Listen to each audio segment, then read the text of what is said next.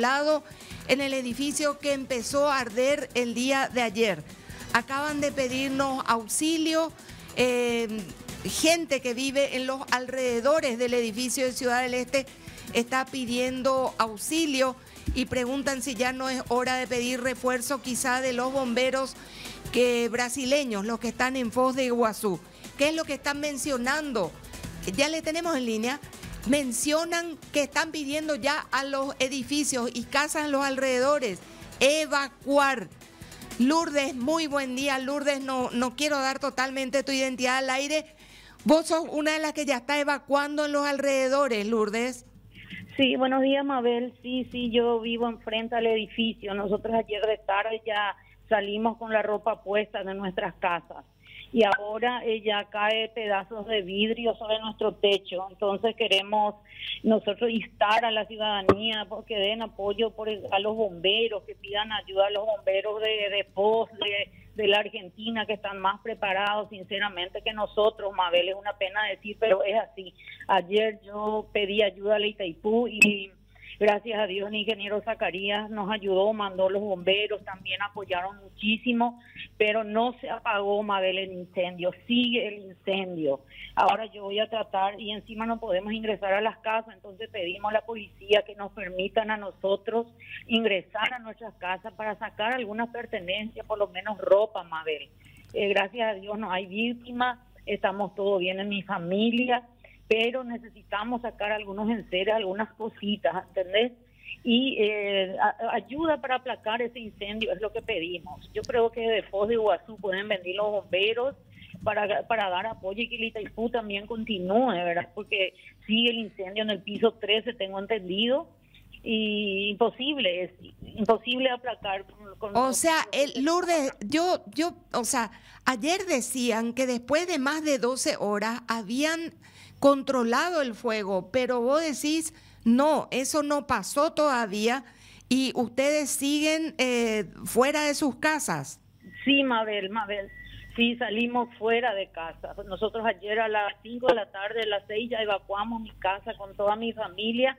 Salimos de casa con la ropa puesta. Estamos en la casa de una amiga que nos, que nos cobijó, nos, nos, dio, nos dio dos dos habitaciones y estamos ahí, ¿verdad? Ahora eh, lo que necesitamos es que eso se, se, se, apague el incendio, que, que haya más ayuda, Mabel. Ayer ni agua tenían los bomberos, yo compartí en Facebook que se done agua a los bomberos, pero ellos no pueden, sobrepasa la fuerza de los bomberos acá de Paraguay, se unieron todos, bomberos eh, voluntarios de Franco, de Mingaguazú, todos ya vinieron, y la Itaipú pero de eso anoche se dejó de... Lourdes, te, te, te, dejo, te dejo, eh, te dejo seguir con, creo que siguen evacuando. Se ve el esqueleto del edificio, muchachos, y es muy peligroso, por cierto. Me imagino yo que algún perito tiene que estar mirando esto por si corre riesgos de desmoronamiento. Así mismo, así mismo. Que es lo que me imagino que hace que evacuaron todas las manzanas alrededor de ese edificio, Lourdes. Eh, sí, sí, ya se evacuó. El tema es que la mayoría luego son, son edificios, son negocios de shopping. Comisario, eh, demasiadas horas ardiendo y yo me imagino que eh, hay gente que está denunciando con nosotros que fueron evacuados ayer no les permiten volver todavía. ¿No se va a pedir ayuda ya a, nuestros vecinos para tratar de extinguir de una vez el fuego, comisario? Estamos viendo la posibilidad de usufructuar nuevamente el carro hidrante de, de la Itaipú. Ellos tienen un carro hidrante más, más sofisticado, digamos, porque eh, nuestros propios eh, bomberos voluntarios nos están pudiendo, a consecuencia del recalentamiento y el los caños que ellos estaban utilizando ya ya están sufriendo algunos de perfecto, ¿verdad? Pero estamos eh, viendo la posibilidad de, de, utilizar o de prestar eh, los carros gigantes de la Itaipú Nacional. Entiendo. Comisario, ¿hay alguien que esté mirando si es que este edificio corre peligro de derrumbe? De hecho que sí, eh, estamos involucrados todas las instituciones, tanto el municipio, la policía, los bomberos, los profesionales eh, peritos también de, la policía. Está, está, en síntesis, el, el edificio en sí está en mira. Lo, lo que estamos tratando a través de los de los profesionales bomberos estamos tratando de, de, extinguir totalmente el fuego. Eh, resultó ser un poco dificultoso. Se controló se controló el fuego a la a la tarde noche pero eh, se quedaron de guardia digamos carros bomberos eh, cuatro carros bomberos voluntarios y a la medianoche aproximadamente volvió el fuego a consecuencia de que todos los calderillos, todas las tuberías son todo de plástico. Está todo recalentado, están prácticamente con, con fuegos vivos todavía y volvió otra vez el fuego. Ahora están haciendo todo lo posible de poder apagar nuevamente y en minutos eh, tenemos la esperanza de contar con ese carro hidrante de que, que, es más potente. Estamos viendo la posibilidad de utilizar eso. Sí, comisario, nos está hablando toda la gente ahí de Ciudad del Este, los que están cerca, los que están un poco más lejos. Nos cuentan, por ejemplo, que desde el kilómetro 7 se ve eh, el humo, que, cómo sigue todavía tirando humo el edificio y gente que está más cerca trabajando dice, nadie nos dice si es preocupante o no. Estamos respirando todo el humo que sale del edificio. No sabemos tampoco la toxicidad, además del peligro, si hay o no peligro de derrumbe.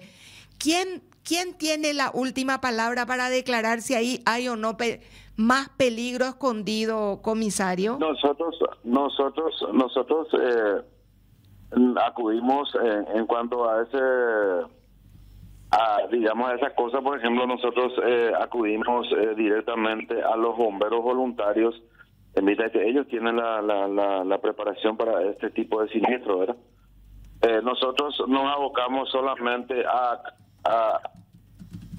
a aislar el lugar una una distancia prudencial el, alrededor del edificio en vista de que nosotros eh, siempre tenemos que eh, tener en cuenta que corre el riesgo de eh, este de sinistro de esta magnitud, por ejemplo, siempre va a haber peligros porque se trata ya de un incendio de de, magnitud. Comisario, usted está enterado que ayer a la noche aquello se reavivó otra vez el fuego, ¿verdad? Sí. O sea que, y, no ¿y cómo es posible, si anoche ya se reavivó, cómo es posible que la dotación de bomberos de Itaipú no esté ahí desde anoche? Usted está diciendo que le están esperando. Estamos haciendo porque tiene su protocolo, tiene su protocolo a través del municipio y tiene su protocolo para que ellos puedan puedan liberar, ¿verdad? Teresa Fretes, Móvil Express cubierta, estas imágenes son de ahora del edificio que está sigue ardiendo. Esto no ha terminado y discúlpenme, pero como decía este señor que entiende de resistencia de materiales, tanto tiempo expuesto al fuego, eso puede ser un peligro. Teresa Frete, buen día. Buen día, Mabel. Intenso todavía el humo que sale de este edificio y el olor a plástico quemado eh, eh, definitivamente se siente a varios kilómetros de aquí. Y según los que nos confirmaron algunos eh, obreros, Mabel, quienes ayer estaban en el momento del siniestro, cerca de mil carreteles de cable, aquellos que están como liados en, cilindros de madera tipo pallet, esos, esa cantidad de mercadería estaba en el piso donde se inició el siniestro. De hecho, hasta ahora sigue persistiendo, Mabel. Ahora se están reagrupando nuevamente también los bomberos, están aquí también algunos capitanes. Vamos a acercarnos un poco para hablar también con los... Eh, bomberos voluntarios en este caso respecto al trabajo que están realizando. Voluntarios, ya se retiraron de madrugada, ahora están volviendo de vuelta para poder empezar de vuelta. Capitán General Antonio Arnaboli, presidente del Grupo Bombero. Gracias, presidente. Capitán, para recapitular un poquitito, ¿cuál es el trabajo que actualmente ustedes están haciendo dentro del edificio? Ahora mismo no estamos haciendo nada. Como le, mencioné al, otro medio, ¿verdad? Nuestra gente estuvieron trabajando hasta las 4.30 de la mañana y después ya no hubo el cuerpo humano, ya estaba decía. Entonces se, se suspendió y ahora empieza a volver la gente a... Empieza a volver, a venir llegando nuestro voluntario de vuelta. Por el tipo de humo que está saliendo del edificio, evidentemente todavía hay eh, llama, fuego, en, por lo menos en algunos de los sectores, capitán. Sí, estuvimos verificando ya. En el piso 11, piso 12 y piso, piso 13 hay llama todavía. Ya no es alta, ¿verdad? Pero hay todavía. ¿Qué tipo de materiales, capitán, ustedes encontraron que es tan inflamable? Y ya encontramos rollos de cable, eh, baterías que son de baterías, ya sea batería de patineta, de todas esas cosas eléctricas, y, y todo lo que es parte de, ¿cómo decir? El, electrónico en general, porque nos subieron mencionar, de mencionar, ellos no, no, no, nos dieron una lista de qué es. Capitán, a esta hora, después de tantas horas de fuego, ¿qué tan comprometida debe estar la estructura? Y por eso le, digo, estuvimos eh, preguntando al arquitecto que está acá, el arquitecto de la obra, y según él, la estructura en parte general eh, no hay peligro, ¿verdad? Pero el piso, sí, eh, eh, ya puede empezar de un piso caer al otro. ¿Qué van a hacer entonces ustedes? ¿Cómo van a seguir combatiendo? Y vamos a alzar nuestra gente y vamos a empezar a verificar cómo está y ver si hay, hay forma de poder combatir. Vamos a combatir, o si no, vamos a esperar. ¿Qué saben de la situación de salud de ayer, el último voluntario que había quedado solo por unos minutos dentro del edificio? El voluntario cuando se fue al rescate está bien, ya estaba anoche, ya estaba internado en estado de observación nomás. Pero está fuera de peligro. Está fuera de peligro, gracias a Dios. Mabel, no sé si tiene alguna consulta más para el capitán Antonio Anaboldia. Él está aquí comandando el trabajo precisamente. Eh, sí, voy a pasar el retorno, Mabel, un, entonces, un, un ratito aquí. Capitán. Capitán, buen día. Felicidades por el trabajo que hicieron. Sí, te escuchan. Felicidades, Señor, por el trabajo que hicieron, el que están haciendo. Vi a los muchachos rescatando gente de los pisos de arriba. Una vez más, el, ser humano peleando contra el concreto y la irresponsabilidad de otros seres humanos para rescatar a gente humilde. Tengo unas preguntas muy concretas y ya le libero. La primera de todas, entonces se puede confirmar que el edificio estaba funcionando como un pequeño depósito, por lo menos en la parte de abajo. Sí, Mabel, no que puede conformar un pequeño depósito, un enorme depósito, ¿verdad? Son, son según ellos, son seis pisos cargados ya con mercadería. Segunda pregunta, capitán. Eh, el edificio, esos seis pisos que ya estaban cargados y todo eso, ¿ustedes encontraron huellas de detectores de humo, encontraron huellas de que hubieran estos, eh, estos, estas duchas que, tiran, creo que le llaman, ¿cómo es que le llaman esto que se pone en el techo y que tira agua? Encontraron un sistema de incendio ya instalado. Tipo aspersores. Todavía no, todavía no hay nada. Sería lo, tendría que haber iluminación de salida de emergencia, eh, como decir, los, para regar los ¿verdad? En caso de incendio no hay nada todavía, porque están en construcción, pero esa parte del medio ahí ellos ya cerraron, ¿verdad? Y ya están usando como depósito.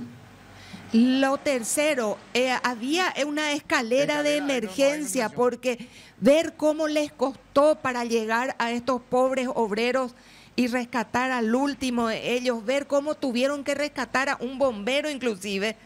La escalera de incendio es de las escaleras de incendio que están aprobadas estas escaleras externas por fuera del edificio?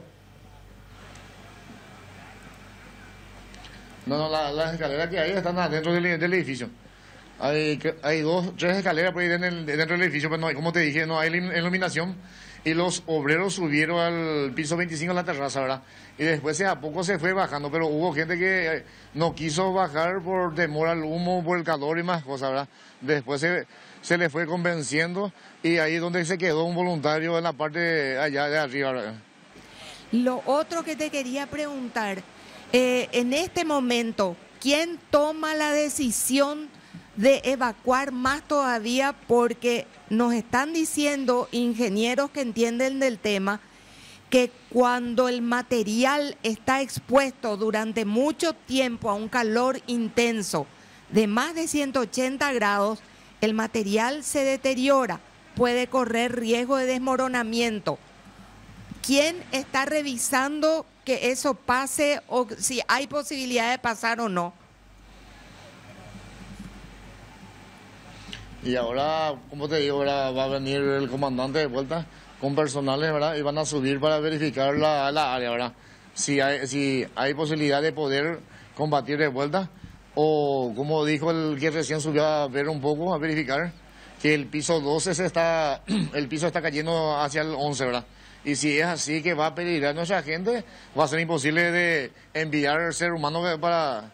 Totalmente. Usted está diciendo algo muy grave que el piso 12 se está hundiendo hacia el 11. Eso dijo. Sí, así es la información que tengo, ¿verdad? Que el piso 12 eh, hay parte que ya está alargando la parte del piso hacia el 11. Bueno, eso, eso cualquier experto va a decir que puede generar un efecto dominó sobre los pisos abajo. Y yo no sé si eh, creo que llegó el momento que pidan un auxilio más importante para determinar la gravedad de lo que está pasando, eh, capitán. Mucho éxito, mucha fuerza. Una pregunta, capitán, porque tenemos derecho a saber.